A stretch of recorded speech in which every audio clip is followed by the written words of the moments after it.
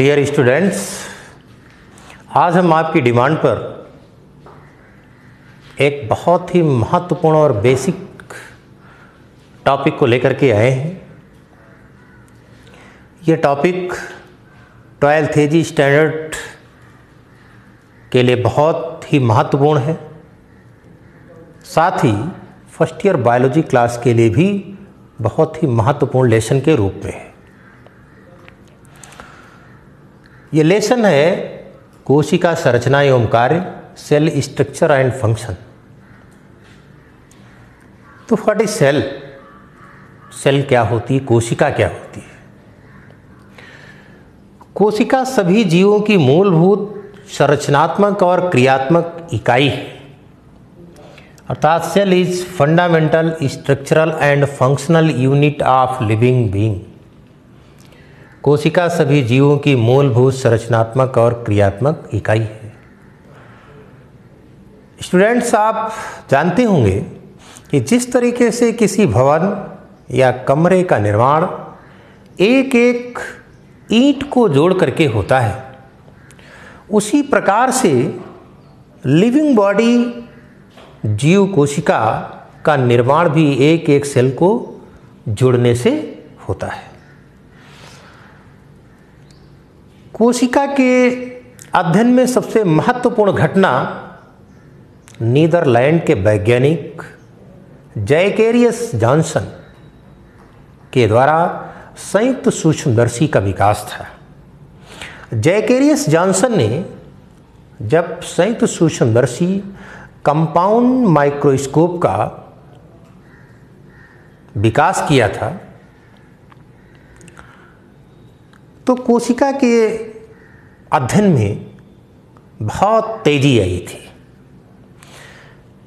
Year 1665 सन 1665 में Robert Hooke ने क्वेरिकस सुबर क्वेरिकस सुबर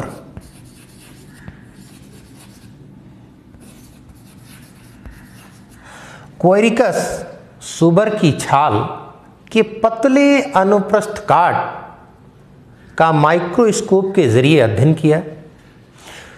तो उन्होंने कुछ हनी कॉम्ब लाइक मधुमक्खी के छत्ते के समान खाली स्थान देखे, जिसका नाम रॉबर्ट हुक ने सेल अर्थात कोशिका दिया।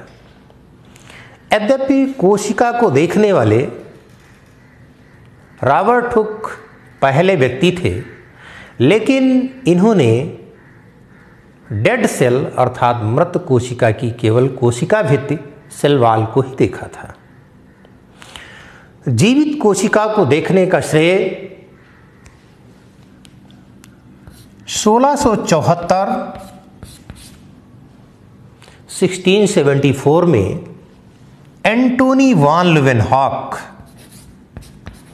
Antonie van Leeuwenhoek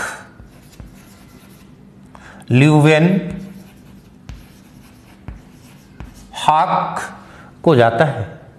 इन्होंने सेल्फ मेड स्वनिर्मित सूक्ष्मदर्शी के ज़रिए बहुत सारी कोशिकाओं जैसे स्पर्म कोशिका, शुक्राणु कोशिका प्रोटोजोन्स और आरबीसीज लाल रुधिर कणिकाओं जैसी कोशिकाओं को देखा था। आगे आते हैं कि सेल थ्योरी कोशिका सिद्धांत क्या है? कोशिका सिद्धांत क्या है?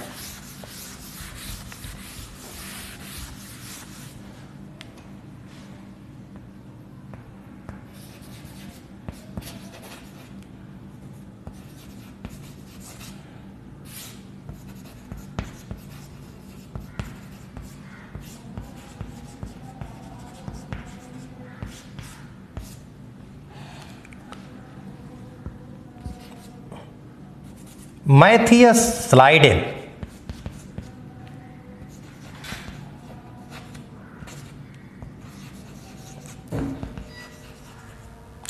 Matthias Schleiden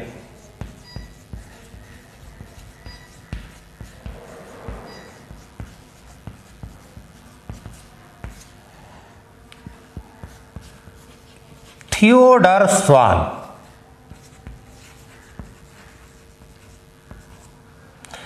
Theodor Schwann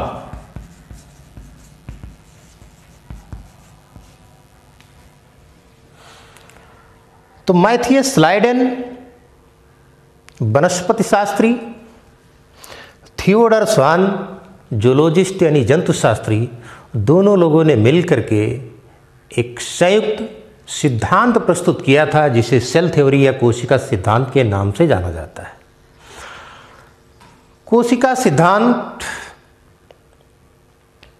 में 20 वर्षों बाद एक जर्मन वैज्ञानिक जिनका नाम रूडोल्फ वर्षो था। रूडोल्फ वर्षो। इन्होंने कुछ सुधार किया। और सुधार करने के बाद कहा कि omnis cellula, e cellula. Omnis cellula, e cellula. Omnis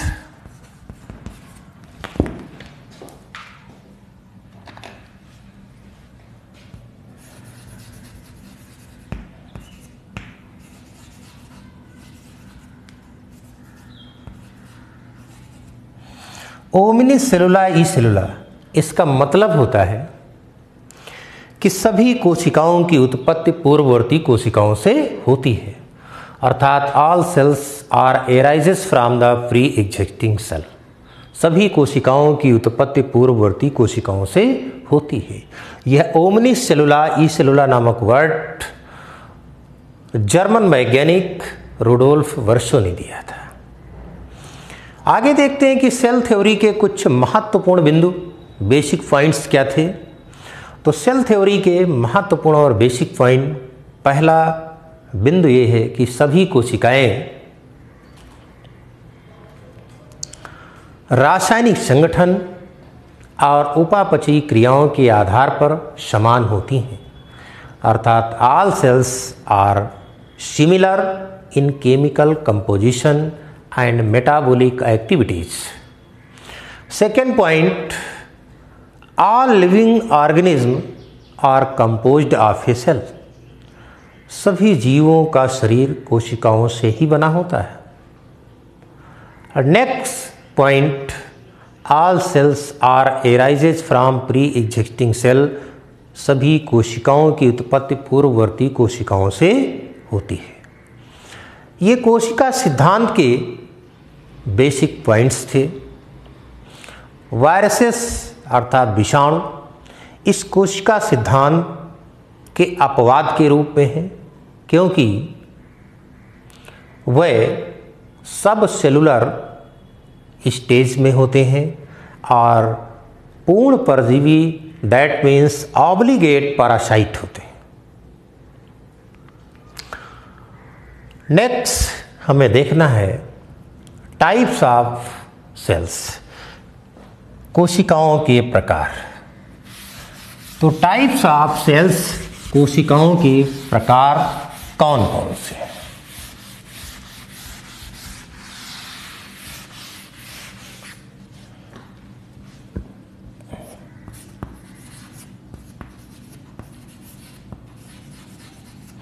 types of sales कोशिकाओं के प्रकार।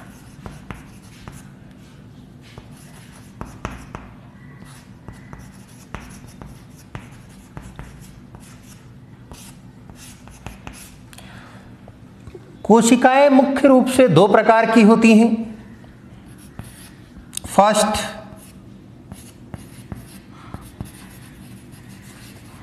प्रोकैरियोटिक सेल्स, जिन्हें पूर्व केंद्र की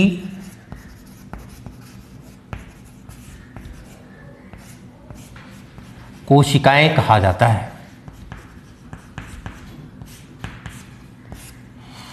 सेकेंड यूकैरियोटिक सेल्स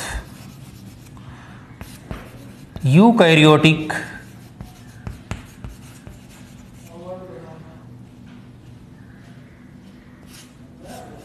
कोशिकाएँ।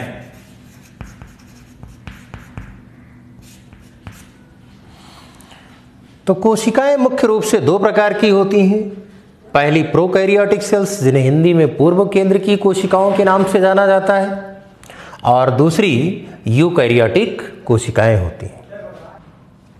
अब हम देखते हैं कि प्रोकैरियोटिक कोशिकाएँ क्या होती हैं। प्रोकैरियोटिक कोशिकाएँ। तो प्रोकैरियोटिक कोशिकाएँ ऐसी कोशिकाएँ होती हैं, जिनका केंद्रक अविकसित प्रकार का होता है या सीधे कह लिया जाए कि फास्ट टाइप ऑफ़ न्यूक्लियस अशक्त प्रकार का केंद्रक होता है। प्रोकैरियोटिक का मतलब क्या होता है? प्रोकैरियोटिक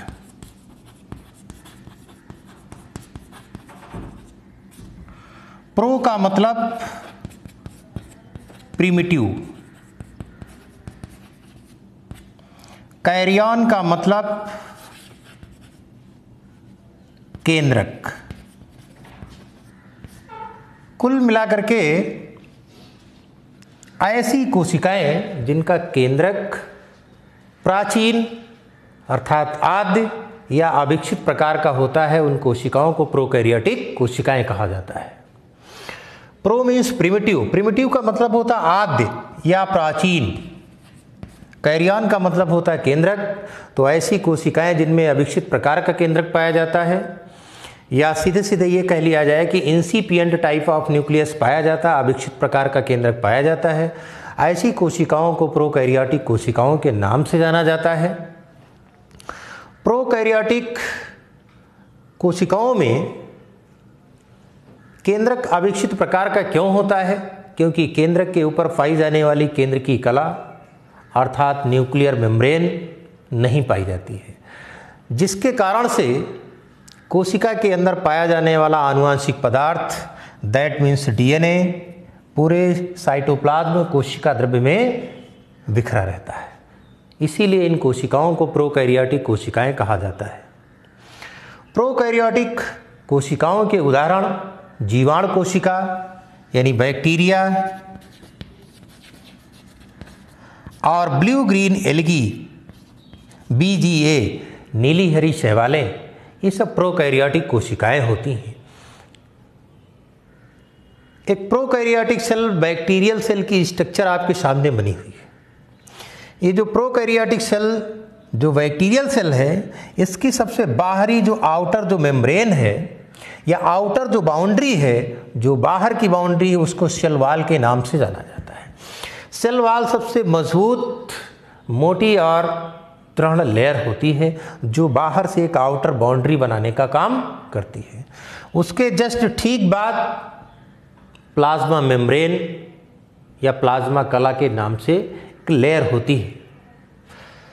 प्लाज्मा मेम्ब्रेन जगह जगह पर इनबेजिनेटेड होकर के, अंतर्वलित होकर के, अंदर की ओर धस करके एक संरचना का निर्माण करती। संरचना का नाम मीजोसोम होता है।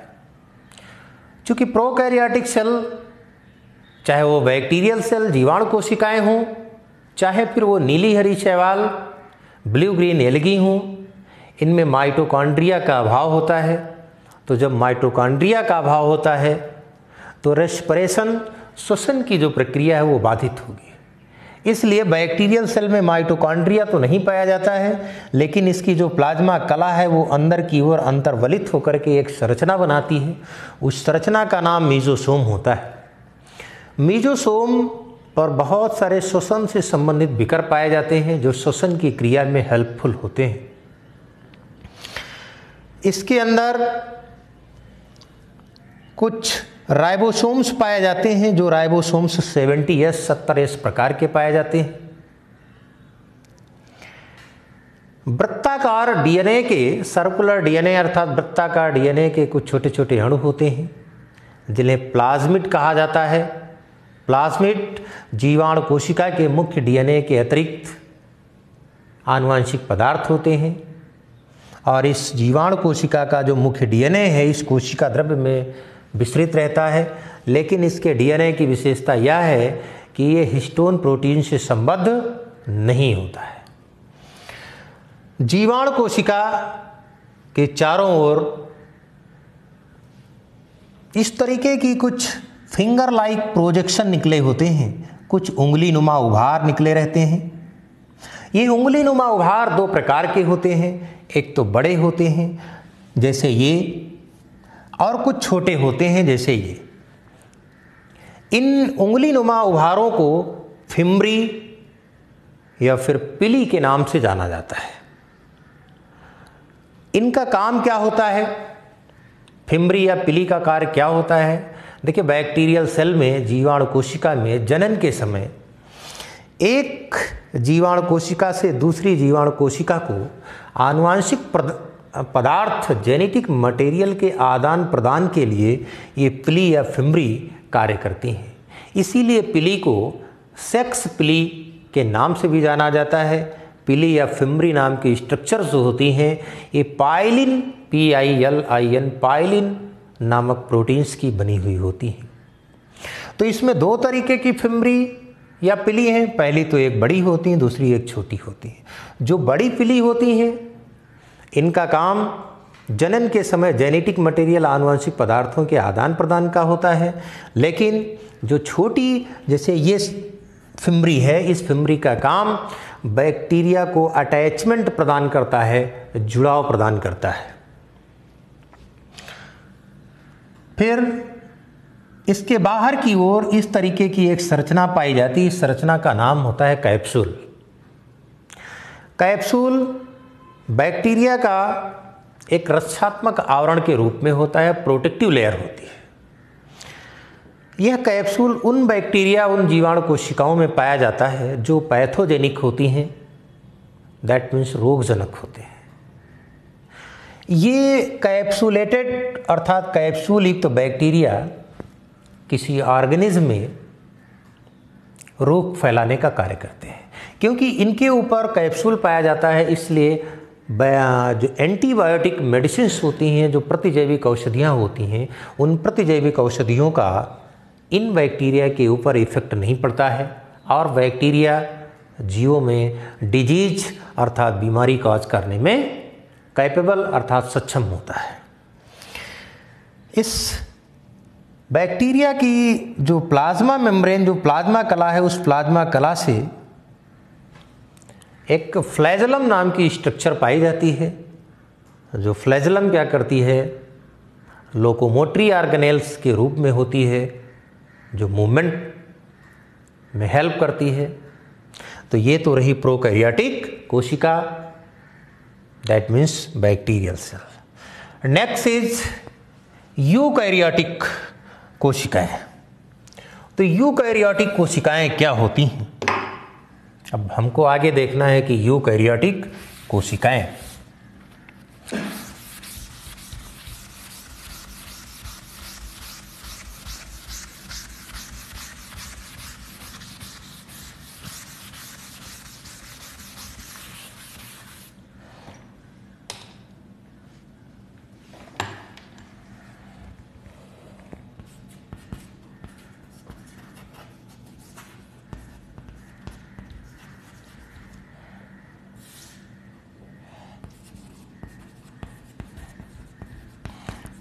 यूकैरियोटिक कोशिकाएँ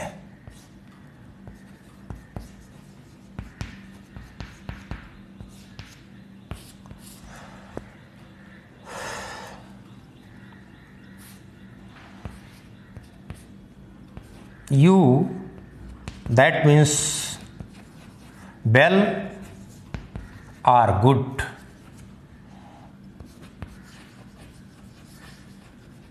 karyons means nucleus अर्थात केंद्रक।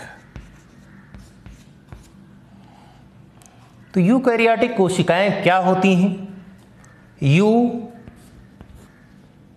that means well or good means अच्छा या विकसित।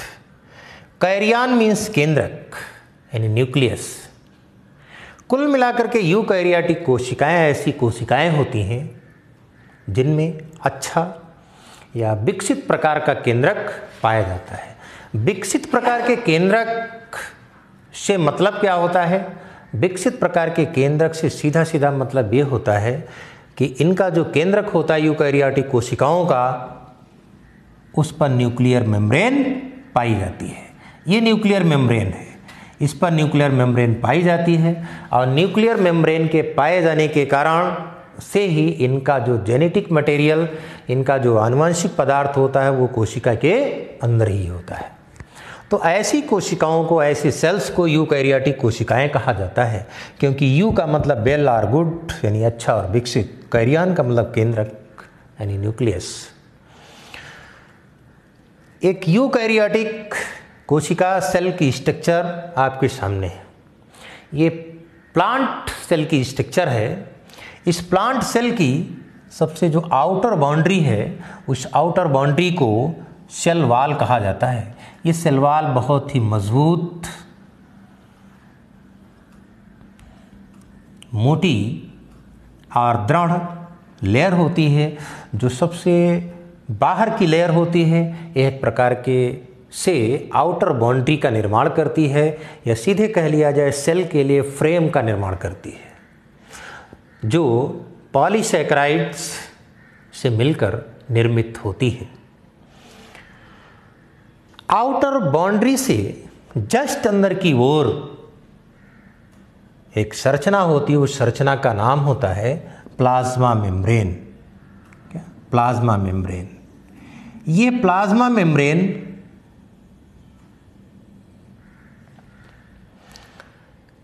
के जस्ट अंदर की ओर कोशिका के अंदर पाए जाने वाले कोशिकांग होते हैं। पादप कोशिका में ये बड़ी सी जो संरचना दिख रही है, इसको बैक्यूल अर्थात रिक्तिका के नाम से जाना जाता है। प्लांट सेल और एनिमल सेल में एक डिफरेंस अंतर यह भी है कि जंतु कोशिका में आपने अक्सर देखा होगा कि न्यूक्लियस की पोजीशन, केंद्र की पोजीशन सेल के बीचों बीच में होती लेकिन प्लांट सेल में आप यह भी देखेंगे कि न्यूक्लियस की जो पोजीशन होती है पेरीफेरल रीजन की ओर, अर्थात परिधीय रीजन की ओर, परिधीय क्षेत्र की ओर, यानी किनारे की ओर खिसक होती है। कारण क्या होता है कि इसमें बड़ी सी बैक्यूल पाई जाती हैं, जो सेल के अंदर का ज़्यादा से ज़्यादा पोर्शन कवर कर लेती हैं तो न्यूक्लियस को बीच में रहने की जगह, अर्थात प्लेस नहीं मिल पाता, इसलिए ये परिधि की ओर थोड़ा खिसक करके है केंद्रक डबल मेम्ब्रेन से कवर होता है। इस केंद्रक के अंदर आनुवंशिक पदार्थ दैट मीन्स जेनेटिक मटेरियल पाया जाता है। यह genetic material means DNA histone protein से संबद्ध होता है। रेखीय डीएनए होता है हिस्टोन प्रोटीन से संबद्ध होता है। इसी न्यूक्लियस के अंदर एक केंद्रिका पाई जाती है जिसे न्यूक्लियोलस कहा जाता है, जिसकी खोज फोन्टाना ने की थी। न्यूक्लियर मेम्ब्रेन से लगी हुई कुछ अंतःप्रदबी जलिकाएँ होती हैं। जिन अंतःप्रदबी जलिकाओं की सरफेस स्मूथ होती है, चिकनी होती है, उन्हें S E R smooth endoplasmic reticulum, चिकनी अंतःप्रदबी जलिकाएँ कहा जाता है। लेकिन इसी केंद्र कला से लगी हुई कुछ अंतःप्रदबी जलिकाएँ जिनकी सरफेस खुरदरी होती है, रफ होती है, उन्हें R E R that means rough endoplasmic reticulum खुरदरी अंता प्रदबीज जलिकाएँ कहा जाता है।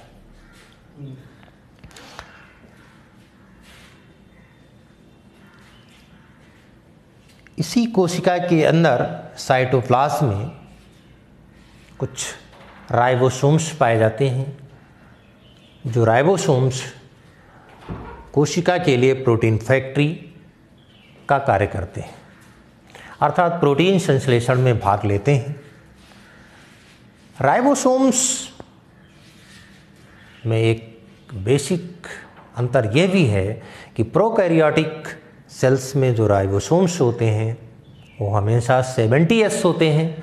लेकिन यूकैरियोटिक कोशिका जो हम सामने देख रहे हैं, इस यूकैरियोटिक कोशिका के जो राइबोसोम हैं, वो एटीएस होते हैं।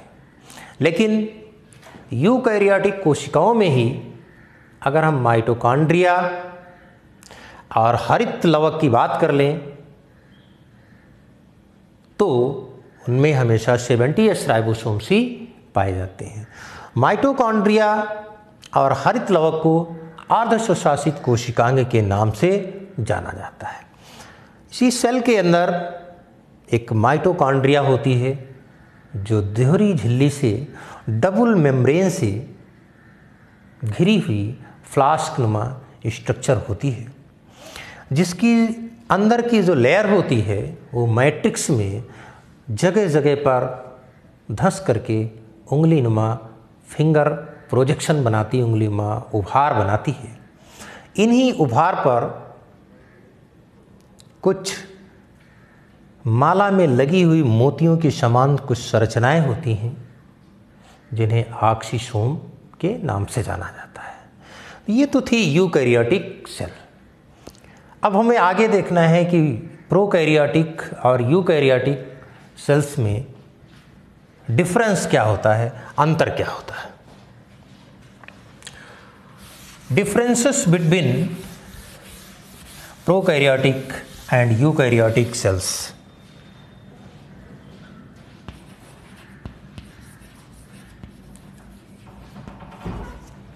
Differences between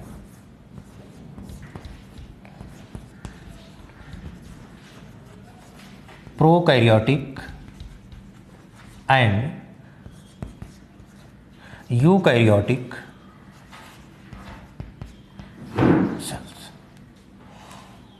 prokaryotic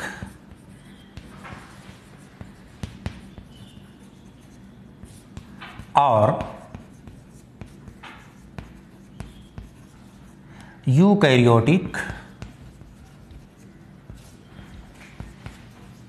कोशिकाओं में अंतर।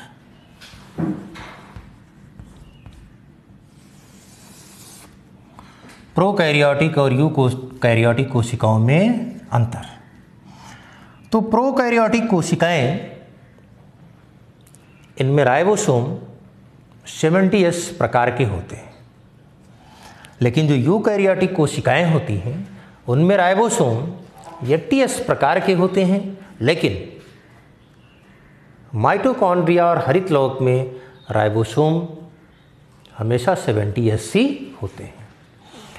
नेक्स्ट पॉइंट प्रोकैरियोटिक कोशिकाओं का जो डीएनए है, वो सर्कुलर होता है, वृत्ताकार होता है हिस्टोन प्रोटीन से संबद्ध नहीं होता है, लेकिन यूकैरियोटिक कोशिकाओं का डीएनए लीनियर रेखीय होता है और हिस्टोन प्रोटीन से संबद्ध होता है। प्रोकैरियोटिक कोशिकाओं का जो केंद्रक है वो फॉल्स टाइप का होता है। दैट मीन्स अनडेवलप्ड यानी अविकसित प्रकार का होता है। लेकिन यूकैरियोटिक जो कोशिकाएँ होती हैं, उन यूकैरियोटिक कोशिकाओं का केंद्रक फुल्ली डेवलप्ड पूर्ण विकसित होता है। प्रोकैरियोटिक कोशिकाओं में केंद्रक के ऊपर न्यूक्लियर मेम्ब्रेन अर्थात केंद्र की कला, नहीं पाई जाती है। लेकिन यूकैरियोटिक कोशिकाओं के न्यूक्लियस के ऊपर न्यूक्लियर मेम्ब्रेन केंद्र की कला पाई जाती है। प्रोकैरियोटिक कोशिकाओं में मेम्ब्रेन बॉन्ड ऑर्गेनेल कलाबद्ध कोशिकांग जैसे माइटोकॉन्ड्रिया हंता प्रदबीजालिका इन सब कोशिकाओं का अभाव होता है, लेकिन यूकैरियोटिक कोशिकाओं में ऐसे कलाबद्ध कोशिकांग पाए जाते हैं। थैंक्स। नेक्स्ट वीडियो में हम आगे के टॉपिक को लेकर के